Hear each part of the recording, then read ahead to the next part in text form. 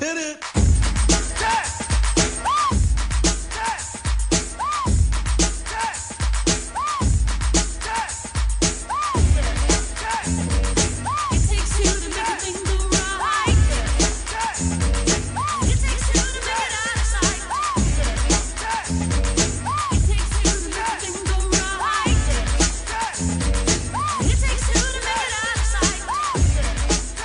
Good morning, Bucknutters. It's Thursday, December 11th, 2014. That can mean only one thing. Steve Wiltfong, Director of Recruiting for 24-7 Sports, has stopped by to share some knowledge. Steve, thanks for joining us on this glorious winter morning. Good morning, Daniel. Another show with more good news to talk about regarding Ohio State on the recruiting trail. The Buckeyes are on fire down the stretch as they continue to build on the nation's number four ranked recruiting class.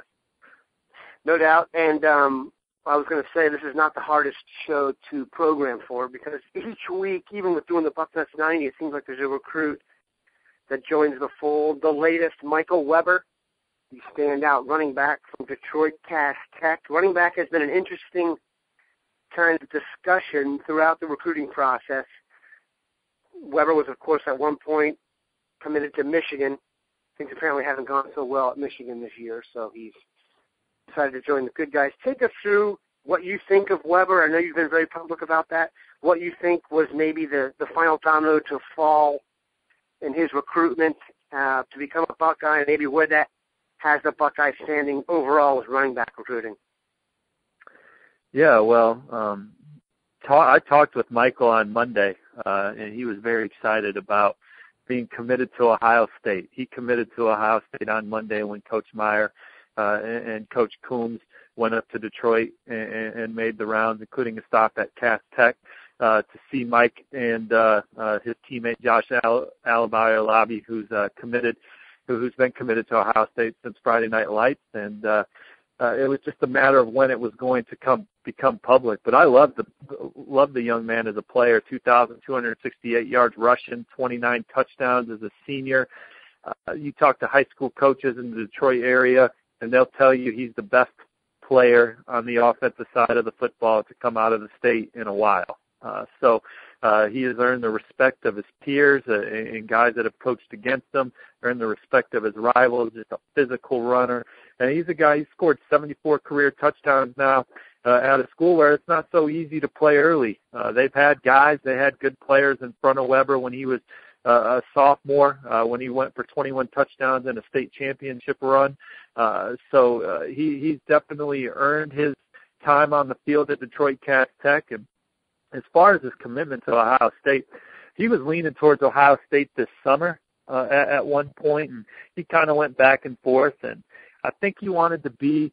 Uh, I think he wants to be the guy in the class that he chose. I think that was important to him as well, and being being the the lone running back in Ohio State's class, I think is exciting to him.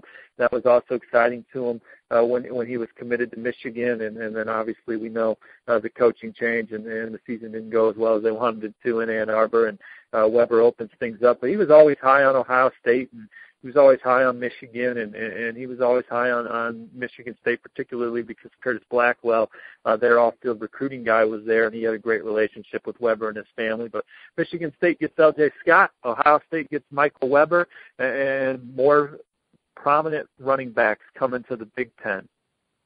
Yeah, Michigan you have to add someone. It's unlikely they'll be able to add anyone of that ilk. Just before we get off the running back tip for one second here, the other name that has been bandied about for Ohio State really throughout the recruiting process is Damien Harris out of Berea, Kentucky. There was one point in time when it felt like he was he was going to be part of the mix and teaming pictures with uh, Jashon Cornell and Justin Hilliard. Now it looks like that ship may have sailed. Kind of bring us up to date on what the Weber commitment does to the recruitment of Damien Harris.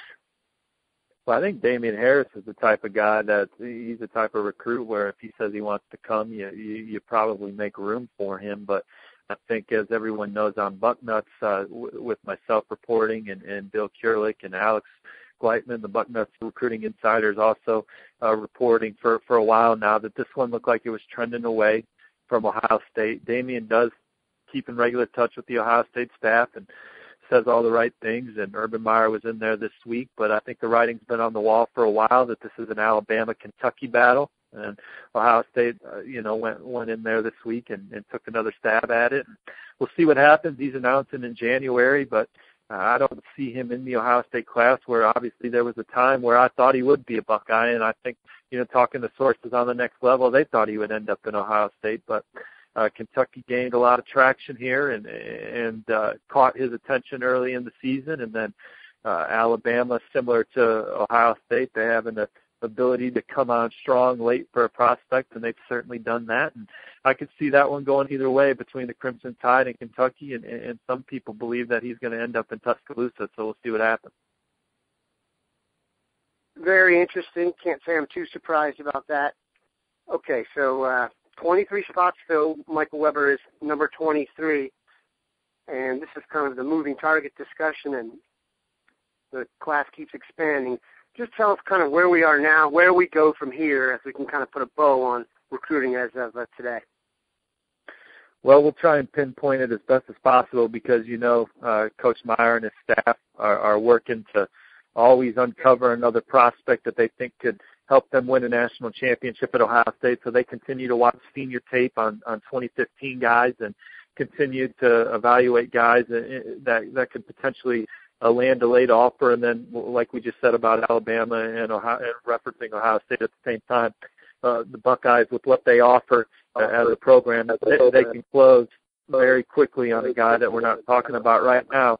But the names on the board that we do know, I, definitely like where Ohio State stands with uh, former Clemson defensive back commit Jaquan Briscoe. Uh, I, I still see him in in the Ohio State class uh, come National Signing Day.